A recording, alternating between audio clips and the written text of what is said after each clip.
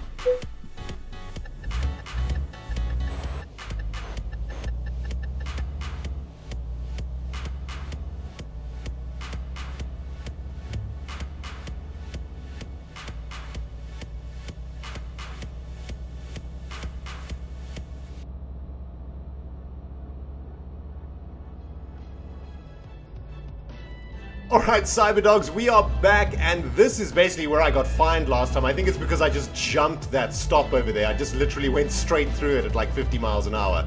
Um, but I don't know if you guys noticed in that fast forward that I basically made the same mistakes that I made last time again. Although this time around I have been indicate, indicating more, which is good, and trying to stay in the in the in the lanes and not go over the middle of the road. But uh, still a little bit of work to be done on my freaking road etiquette up in this jazz, man. Damn. Um, but here we are, guys. We are on our way. We've got about 81 miles to go until we get to Metz for this delivery and 2,000 pounds in the freaking bank, baby. And um, what I'm trying to do over here, guys, is save enough money. Ooh, my bad. Um, I want to, uh, what I want to do is, is save enough money to buy my own truck, but I want to try and get as far away from London or from the United Kingdom as possible and then do an epic cross Euro journey. Maybe if we can get all the way to Poland or something. Um, and then just do an, a ridiculous journey. I mean, it, will it, take like an hour to drive all the way from Poland, and that is going to net us a freaking tidy sum, maybe 20, you know, 10, 20 grand, man. Bam, in the belly. And that's going to get us one step closer to getting our own truck. But guys, while I was driving along in fast forward mode, my brain wasn't in fast forward mode, obviously, but um, I was thinking about another interesting story I wanted to tell you guys um, on my journeys with my brother from the same freaking mama, the real Gox, in Paris. We've just left Paris on this journey, so I wanted to tell you guys another story that I shared with Goxy. We were in the Louvre, which is a giant ass museum. Um, in Paris, one of the most famous museums in the world. Most of you guys should know about it um, but some, maybe some of you guys don't. But let me tell you guys, it is an absolutely freaking crazy ass museum. Giant ass museum does not do it justice, man. It is way bigger than a giant ass, let me tell you. It is freaking gi freaking enormous. And there is so much epic stuff there. It is absolutely ridiculous. The only problem is that it's it has so many tourists, so many people in there that it's quite an unpleasant experience. But damn, do they have some sweet ass jazz in there. Let me just quickly pay this toll toll gate and I'll tell you guys more about it. So, my, uh, my brother and I, the real Goxy, and I were in the Louvre and what we wanted to go see was of course Check this, I can stick my head out the window. That's so awesome. we wanted to go see the, the, the most famous thing that is in the Louvre and probably, oh, my bad, and probably one of the most famous things on the face of this planet, and that is, of course, guys, the Mona Lisa painting. Now, if every single one of you should know what the Mona Lisa is, and um, if you don't know what the Mona Lisa, if you don't know what the Mona Lisa is, there's a face palm for you through the internet. Go and go and find out what the Mona Lisa is, man. Seriously.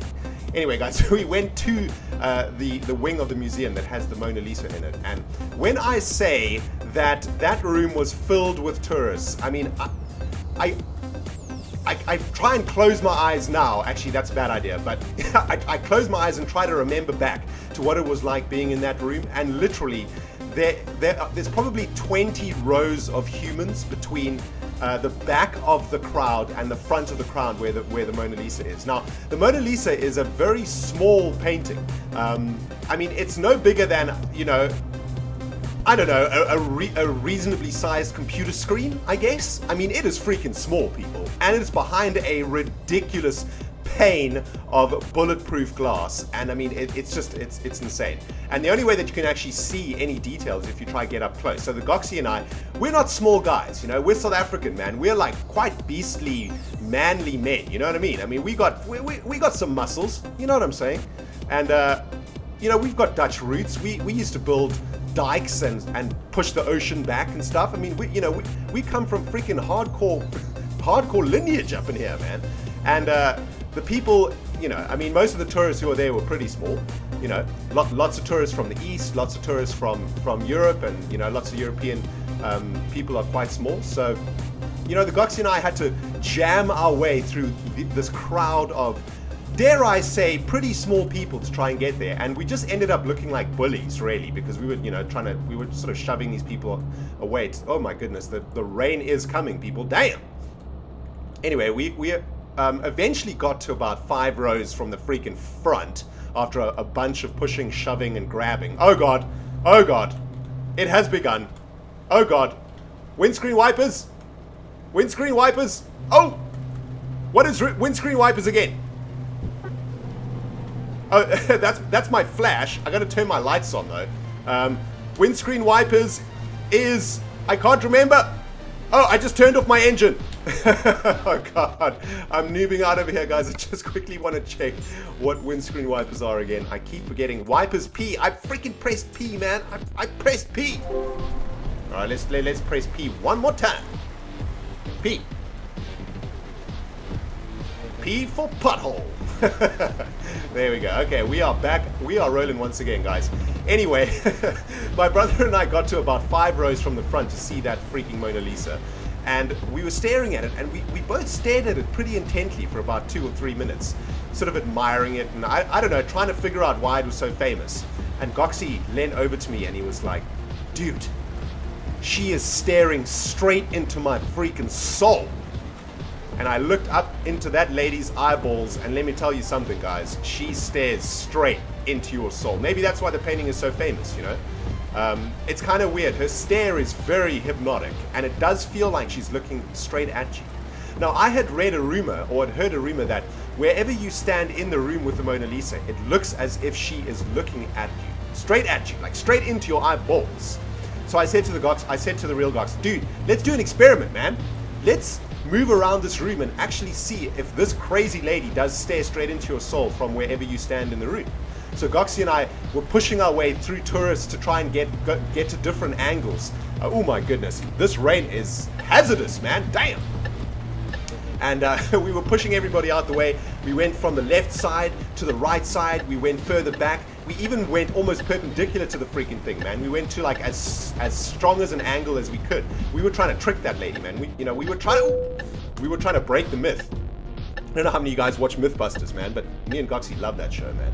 Um, and we were like, we're gonna bust this myth. But let me tell you something, guys.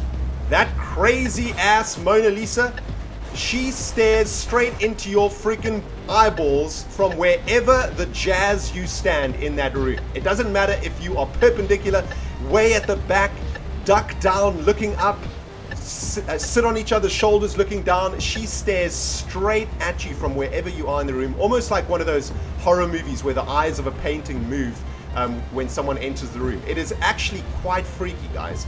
And actually, the reason, number one reason why the Mona Lisa has now become my favorite freaking painting, man. Seriously, how epic is that? That some dude made this painting hundreds of years ago and it has this ridiculous effect. Uh, you know, it's almost like special effects, man. It's almost like he made a like a digital paint, like a, like an illusion or something, man. It's absolutely awesome. Um, but yeah, man, me and Goxie had an awesome time in the Louvre. We got lost, um, but there's so much stuff to see in there, man. You need like two or three days to see everything in that place absolutely ridiculous, if I do say so myself. And speaking of ridiculous people, I've been admiring the interior of this truck that we're driving. I see that it's got. Um, uh, look at this, man. It, the interior is made out of, out of like cheap ass felt. All the buttons are plastic. I mean, look at this. I, I don't have any legs. There's no one sitting. Whoa! I'm swerving all over the road. I mean, this truck is budget, man. Damn, this is like an IKEA truck or something. I, I, sincerely hope that the first truck we drive does not look as freaking buttholish as this thing. Because this thing is nasty. Damn! Although it does have buttons on the steering wheel, which is pretty sweet. That is that is some uh, pretty highly technically advanced jazz up in there, man. Ooh, a ray of sunshine is coming through the clouds. Yeah. Right, sweet. Well, it looks like the road, the the the, the rain is clearing and for some reason I cannot keep in in lane. Guys, I am trying my hardest to keep in this lane, I promise you, but this truck's handling is actually really bad. Um, it's almost as if its wheels are unaligned. I don't know if you guys have ever traveled in a car or a vehicle when the wheels are unaligned. Let's just turn off our windscreen wipers there. It is actually quite, um, it feels very much like that. It, it feels like this truck keeps veering off to the left, so I keep having to make an adjustment. It's kind of annoying. Um, but anyway, the sun has cleared. Wow, that was a quick shower, I must say. Oh, we got a turn here. Indicate. Check the mirrors. Oh, that was almost an accident. My bad, dude. Uh, let's get into this lane and we're going to take this highway off section to Metz, Dijon. Excellent. Oh man, this is epic. Okay, so even though we lost our last um, our last mission, we are now well on track to get there. We've got 16 miles to go, but I am dreading what is to come, people, and you know what that is, right? For those of you guys who've been watching the series up up to date, yep, it is the parking time. Um, uh, not not really looking forward to parking this thing, especially with the its bad steering, but. I think in the last time we, we parked the trailer, we did pretty well. We did better than the first time, that's for sure. The first time we almost freaking jackknifed the, the truck. But hopefully this time I'm going to do a little bit better, guys. Um, I'm just going to indicate to turn right over here at this traffic circle. Oh no, it's just a just an off ramp up in here. Oh, look, check at this. This is so beautiful, man. This nice little foresty area, looking pretty sweet. Oh man, maybe we can, uh, you know, spend a, a night in Met, see what it's all about, man. Partake of the local cuisine and whatnot. Maybe go on a romantic walk down the, the river, if there is a river. Anyone out there been to Metz? Is it awesome? Alright, taking a left turn over here, guys. Checking my mirrors there. Was nothing in the left lane, and it looks like our drop-off point is right about home, which is amazing that we made it and we didn't get fined, which is awesome. We didn't have an accident. We did go up the wrong side of the road once though, but we managed to un- Oh! Oh! Crash vehicle offense? What? Oh, oh. I crashed into this truck. I crashed right at the end also, which is annoying. The exact same thing happens to me in Minecraft when, when I get to the end of an episode, a freaking creeper always comes out of nowhere to blow my ass up. Oh well, we got another fine there, guys. 300 freaking euros for that one. Um, but I, I'm sure I was clear of that truck, but clearly not. Oh man, that is so freaking annoying. We're never gonna get our own freaking truck at this rate, man. Damn! Oh well. you know what they say, just keep on trucking. Alright, here we go guys. We are coming to the right-hand turn over here. Bosped or Postbed. That is the corporation that we are delivering for, so they'll be happy to see that their jazz is en route. Oh! Traffic light! Right. The truck we're driving is black though, which is pretty sweet, man. Check it out. This truck is this truck is purple. Bam. Right, back in the cockpit. Let's do this. Bus, get out of my way. There's not even there's no one even in that freaking bus, man. That is the most boring tour ever. Just the driver. Oh, there we go. All right, here we go, guys. And a right turn into Posped. Oh yes, we're delivering seeds, aren't we? Oh, this butthole is in my freaking way. We're gonna have to back up.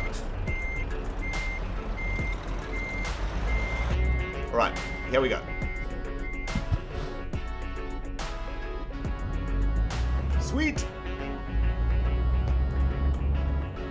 Alright, hopefully we have quite a lot of space to, to uh, park this trailer.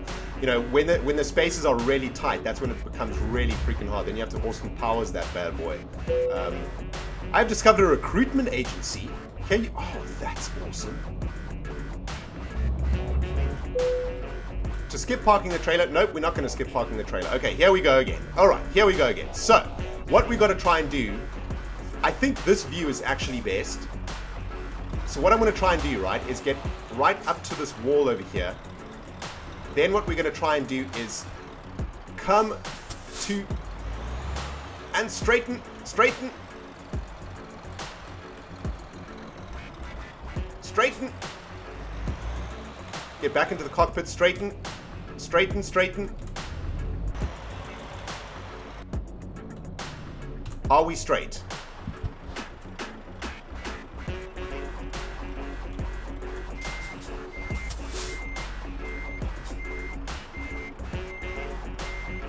I'm concentrating, people. I'm concentrating. Oh my god, are we going to do this first time?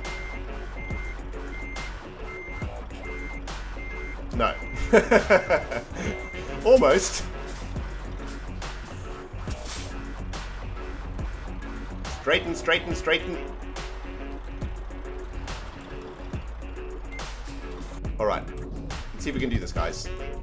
I'm determined to learn how to do this, man. Seriously.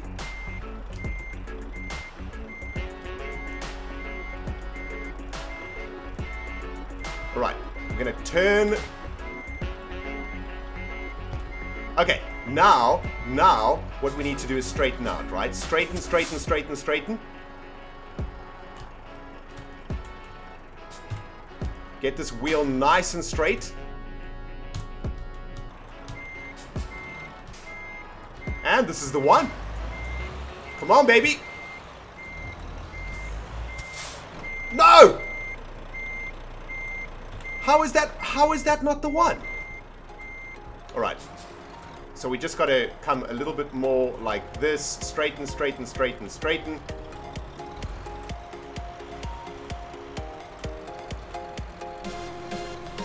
Straighten that wheel. This is the one. This is the freaking one. Yes! Yes!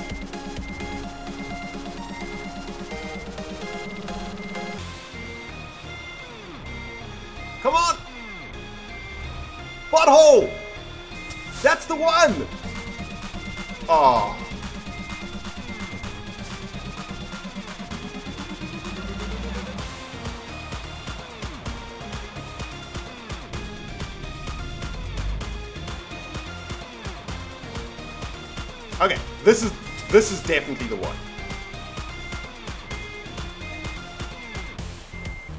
This is this is the one. This is the one, people. This is the best we've ever done.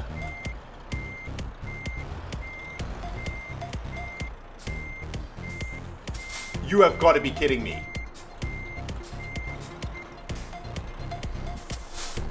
You have got to be you have got to be kidding me. That how is that not the one?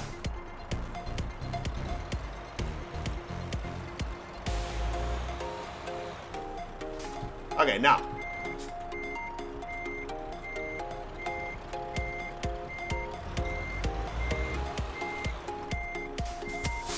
Guys, seriously, man. There we go, we did it! Oh, sweet. Okay, whew, damn, son, I was beginning to sweat. Um, there we go, guys. We have completed our Paris to Metz job. 165 miles, 4 hours and 43 minutes taken. Um, and we got to level 2. Yes, we leveled up. Excellent. That is awesome. We got 200 and 2,838 pounds, 311 XP, which is freaking sweet. In the next episode, guys, we're going to be distributing more of our skill points and getting on another freaking job out of here. Well, actually, you know what? I'm not even going to I mean, we might as well just distribute our skill point now. I'm going to give it to eco driving once again. We're going to stick to our eco driving plan so that when we get our own truck, we will be saving on fuel uh, from the very first day that we start driving our own truck. But guys, thank you so much for watching this freaking episode. If you enjoyed it, you know what to do. You smack that freaking like button. And uh, if you are from somewhere new on the interbubs, welcome to the Rendog channel. Hit the subscribe button. It is right over here for your freaking ass to hit. Guys, thank you so much for watching this Let's Play Euro Truck Simulator 2 series. This has been Ren Diggity Dog, your brother from another freaking mama, and I will see you in the next video. Goodbye, everybody!